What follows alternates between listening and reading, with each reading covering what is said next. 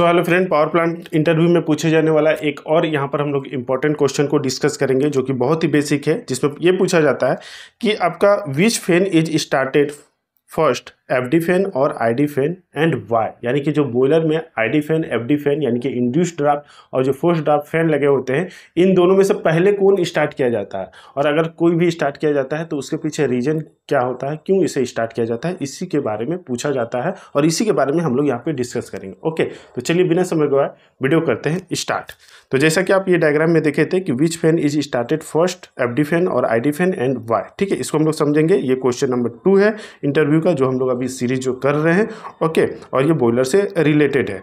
अब देखिए सिंपली अगर हम लोग बात करें तो बिना अगर इधर उधर का बात किए हुए सिंपली बात करें कि बॉयलर में जो आई डी फ़ैन होता है, वो सबसे पहले स्टार्ट किया जाता है। ठीक है, उसके बाद ही एफ़ डी फ़ैन स्टार्ट किया जाता है। तो सिंपली अगर कोई पूछे कि कौन सा फ़ैन स्टार्ट किया जाता है तो आई डी फ़ैन पहले स्टार्ट किया जाता है, उसके बाद ही कोई फ़ैन स्टार्ट किया जाता है। क्या इसके पीछे रीजन है, उसको भी देख लेते हैं। तो सबसे पहली बात कि प्रिवेंशन ऑफ़ पॉजिटिव प्रेशर यानी कि प्रेशर जो आपका फर्नेस में जो पॉजिटिव हो हो ना जाए, इसको प्रिवेंट करने के लिए आपका आई डी फ़ैन पहले स्टार्ट किया जाता है। जैसे लिखा है if the F D fan were started before I D fan it would pressurise the furnace by pushing air into it potentially leading to to positive pressure in the तो अगर हम एफ़ डी फ़ैन पहले start कर देते हैं तो आपका जो एयर है, वो फर्नेस में जाएगा, जिसकी वजह से फर्नेस प्रेसराइज हो जाएगा, जो कि सही नहीं है। ओके इसलिए आई डी फ़ैन को पहले स्टार्ट किया जाता है पहले फर्नेस को नेगेटिव किया जाता है ताकि जो भी आपका जो आ, हम अगर एफ़ डी फ़ैन चालू करें और जब एयर जाए फर्नेस में तो वो उसको बैलेंस करके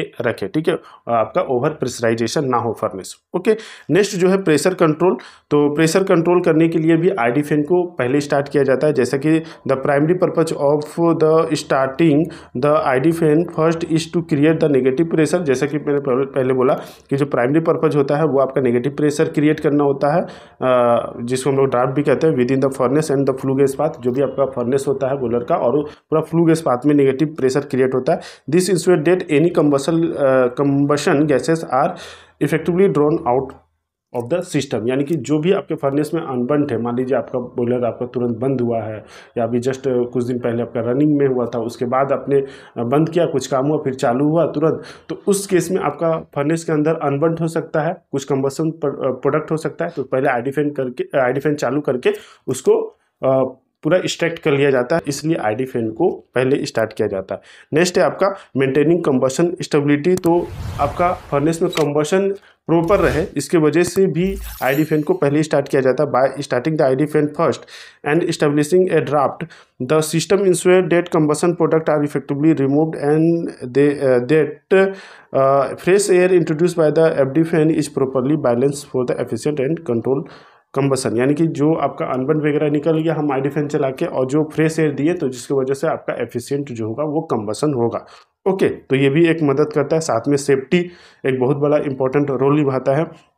कि अगर हम starting of I D fan it create negative pressure and purge the boiler furnace by removing any unburnt and combustible product which help for safe operation अगर आई डी फ़ैन हम पहले स्टार्ट करते हैं तो फर्नेस में जो भी आपका जो पहले तो नेगेटिव प्रेशर क्रिएट होगा और फिर आपका फर्नेस का एक तरह का पर्जिंग हो जाएगा। पर्जिंग कहने का मतलब है जो भी आपका जो भी अनबंट है या कमर्सिबल प्रोडक्ट है सीओ वगैरह होगा वो रिमूव हो जाएगा, जिसकी वजह से आपका ऑपरेशन जो होगा, वो स्मूथ और सेफ़ कहलाएगा ओके और सेफ़ होगा। तो इसलिए आपका आईडी फ़ैन जो होता है, इन्हीं रीजन के वजह से मेनली आपका सेफ्टी और ओवर प्रेशराइजेशन को रोकने के लिए अवॉइड करने के लिए ही आईडी फ़ैन को पहले स्टार्ट किया जाता है। ठीक है? सिंपली आप कह सकते हैं कि this startup sequence support safe operation stability and optimum performance of boiler system okay तो आई होप कि ये जो छोटा सा वीडियो था या छोटा सा जो क्वेश्चन था वो आप सभी के लिए हेल्पफुल रहा होगा। वीडियो इन्फॉर्मेटिव लगा हो तो प्लीज़ वीडियो को लाइक ज़रूर करें।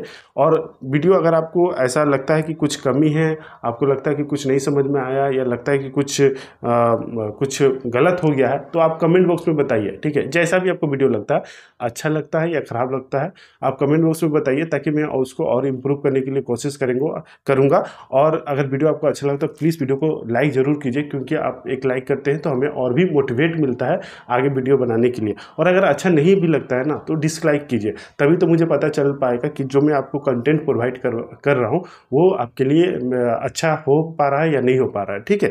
तो प्लीज़ वीडियो को लाइक ज़रूर कीजिएगा और आपको जैसा भी वीडियो लगे, एक कमेंट ज़रूर किया कीजिएगा ओके तो आई होप कि आप इसे समझे होंगे। मिलेंगे नेक्स्ट वीडियो में, तब तक के लिए जय हिंद।